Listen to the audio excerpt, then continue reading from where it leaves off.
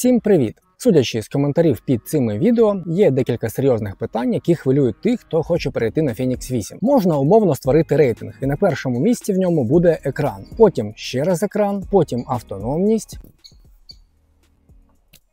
Зовнішній вигляд, їхній розмір, те, як вони сидять на руці, якість матеріалів, кількість функцій та їхня точність, датчиків та показників. Тож у цьому відео ви побачите їх з усіх сторін. Порівняєте, як вони сидять на руці, моделі в різних розмірах. Також ми роздивимося ці екрани в усіх умовах, порівняємо прозорість сапфіру з попередніми моделями. Та сподіваюсь, ви нарешті вирішите, що для вас краще MIP чи AMOLED, бо я насправді ще й досі не визначився. Ще ми побачимо реальні тести автономності, та я зруйную міфи про AMOLED. А також ми дізнаємось, чи може Phoenix 8 заряджати світ сонця. Тож сідайте зручніше, беріть щось смачненьке та будемо починати.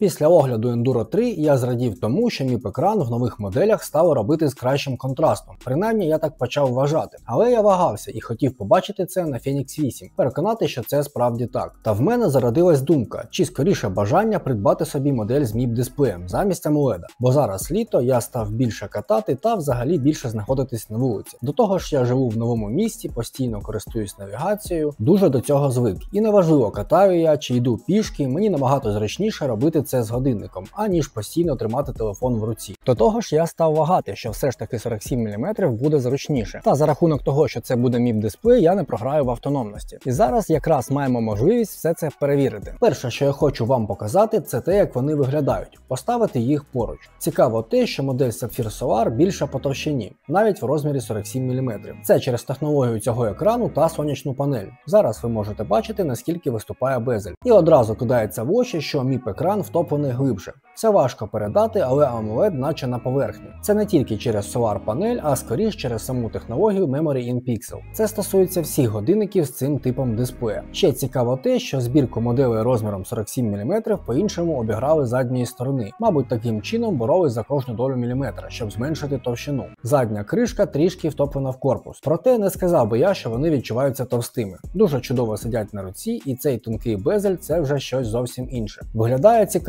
Не скажу, що раніше мені не подобався цей масивний безель в попередніх моделях, але якщо порівнювати, то це вже зовсім інший Фенікс. Навіть в моделі розміром 51 мм його намагаються робити менше. І якщо для вас це має значення, то в моделях з MIP та AMOLED дисплеєм в однакових розмірах товщина безеля відрізняється. Особливо помітно, що в більшому розмірі в моделі Sapphire Solar безель трохи менший, так як там ще вбудована чимала панель. Що стосовно якості титану, розумію, що у багатьох горить, мені також неприємно, коли ти придбав годинник за 1000 доларів, гуляв собі і не помітив, звідки з'явились подряпини. Але знову ж таки це залежить від людини. Наприклад, мій друг Євген, це, до речі, його годинник, він не використовує ніякі захисні бампери. Сафірового скла йому достатньо, при тому, що він постійно бігає, десь катає, постійно якісь пригоди в таких умовах та місцях, що я не розумію, чого годинник досі цілий. Якщо б я мав такий спосіб життя, то на цьому безелі не було б живого місця. Можете бачити по ремінцю, що вони вже поюзані. Ремінці це окрема тема. Думаю, що про це буде відео. До того ж, практично завжди він використовує неоновий ремінець і жодної подряпини на самому годиннику. Безель як новий. Я сам відмовляюсь в це вірити. Мені здається, що я користуюсь дуже обережно, проте в мене постійно якась жесть. Але реально є люди, які носять роками і на годиннику жодної подряпини. Не можу сказати, що це вже інша якість титану. Вона реально в кожній моделі виглядає по-різному. Десь воно, наче легенько покрито фарбою, невеличкі коцки, і під ними вже срібний колір. А про срібний безель я взагалі мовчу. У деяких людей він виглядає так, наче ними малювали на асфальті, а в когось він як новенький. Але не треба робити з цього трагедію. Це всього лише годинник, і набагато головніше те, хто їм користується та як він виконує свої функції. Що стосовно того, як вони виглядають на руці, я дуже звик до розміру 51 мм, і мені завжди здається, що 47 мм замалі мають невеликий екран, наче 51 мм в самий раз. Але коли я дивлюсь зі сторони і бачу їх в когось на руці, думаю, ні собі вони великі. Навіть на чималій об'ємній руці вони все одно великі. Потім я відганяю ці думки і насолоджуюсь їми далі. І припустимо, зараз я з вами дивлюсь на те, як виглядає модель 47 мм.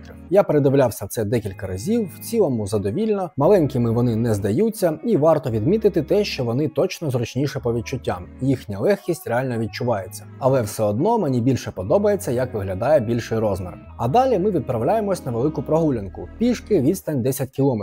Подивимось, що вийде по автономності. Режим супутників максимально максимально точний, максимально енергозатратний, частота запису даних щосекунди. AMOLED дисплей Always On, яскравість мінімальна 30%, MIP дисплей так само. І зверніть увагу, що це сонячний день. Тобто це значить, що яскравість AMOLED екрану була підвищена. А модель з MIP дисплеєм мала змогу подовжувати час роботи завдяки сонячній панелі. Це я трохи шуткую. Яка ще тут підзарядка? Я ж не буду йти ось так з годинником. Мені вистачає того, що всі дивуються, коли бачать людину з годинниками на кожній руці. Підзарядка від сонця під час активності доречна лише в одному випадку, коли ви їдете на велосипеді і годинник встановлений спеціальне кріплення. Тож зарядку від сонця ми розглянемо пізніше і дуже детально. Але сам факт, що були ось такі умови. Хоча спойлер, майже 75 тисяч люкс він якось назбирав. Про що це нам говорить? Ні про що. Нам треба бачити відсотки. Прогулянка тривала протягом трьох годин. Я багато зупинявся, в обох годинниках автопауза вимкнена. В результаті ось що ми маємо. Модель в розмірі 51 мм, навіть самолед екрану все одно значно автономніша. Це не було секретом, Garmin так і заявляє. Це я до того, щоб хтось не думав зайвого на AMOLED. Дехто просто вважає, що те, що написано на сайті, то все фігня. Вони швидко розряджаються і все таке. Під час сну 47 мм MIP дисплей втратив 4% заряду. 51 1 мм AMOLED втратив 2%.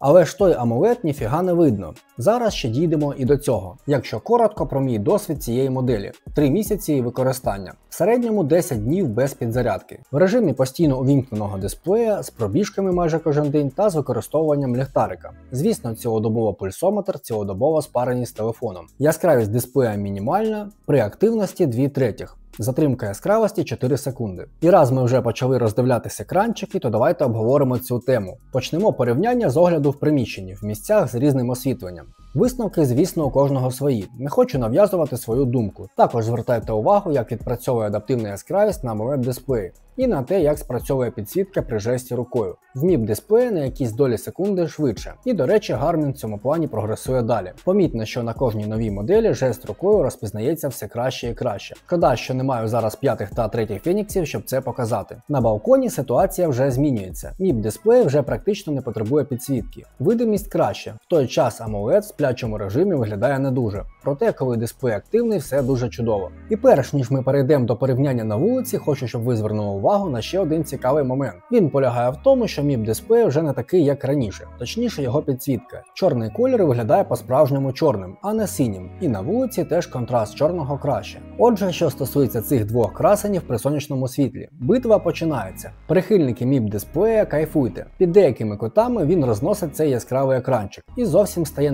непомітно, які там взагалі кольори. Це якщо AMOLED повністю повернути до сонця. Але все не зовсім так. Коли ви підіймаєте руку для того, щоб подивитися, що там на екрані, ви дуже швидко і навіть несвідомо ставите руку в такий ракурс, щоб все було чудово помітно на будь-якому екрані. Наприклад, в ось такому порівнянні можна сказати, що обидві моделі дають змогу чудово роздивитись зображення. І навпаки, якщо ловити зайчиків, то вже не важливо, який тип дисплея. Тепер трохи про адаптивну яскравість на мапі.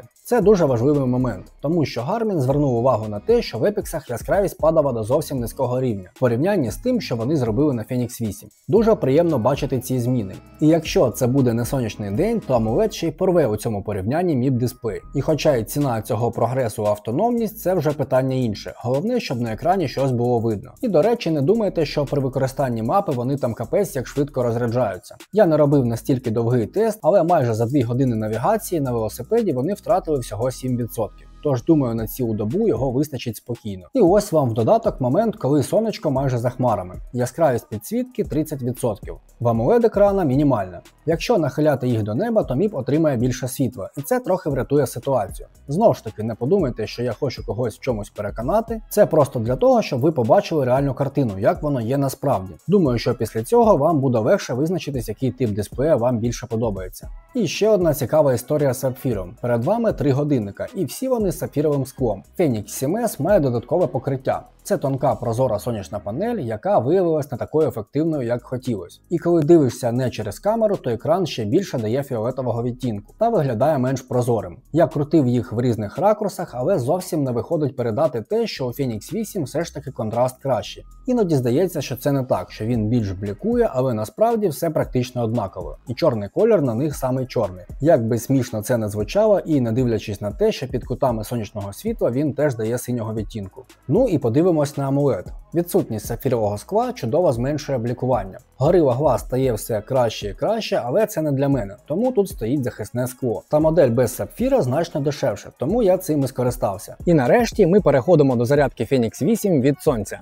Правда, зараз хмара прийшла, але чудово, що все це вам цікаво і ви додивились до цього моменту. Напишіть, будь ласка, якийсь коментар для просування цього відео та підпишіться, якщо ще й досі цього не зробили. Це дуже впливатиме на якість та кількість контенту, який буде виходити далі. Отже, цього разу я наче підготувався, спіймав погоду, взяв їжу, воду та стілець, розрядив годинник до 40%, бо останні відсотки він дійсно заряджає довше, та увімкнув режим збереження енергії, в налаштуваннях якого вимкнені всі датчики, підсвітка, Bluetooth та Wi-Fi, але залишив циферблат без змін. От чомусь мені так захотілось. Увімкнув таймер на 2 години та почав процедуру. Під час зарядки я намагався підібрати ефективний кут. Перший відсоток прийшов доволі швидко, мабуть, тому що при значенні 40 він був розряджений не до кінця. А далі я вже зачекався. В мене сів акумулятор в камері, потім я продовжив знімати на телефон, та щоб хоч якось дотягнути ще один відсоток, увімкнув циферблат енергозбереження та вимкнув таймер. Бо коли екран відображає секунди, міп дисплей все одно потребує енергії, щоб змінювати зображення. В результаті маємо плюс 2% та перегрів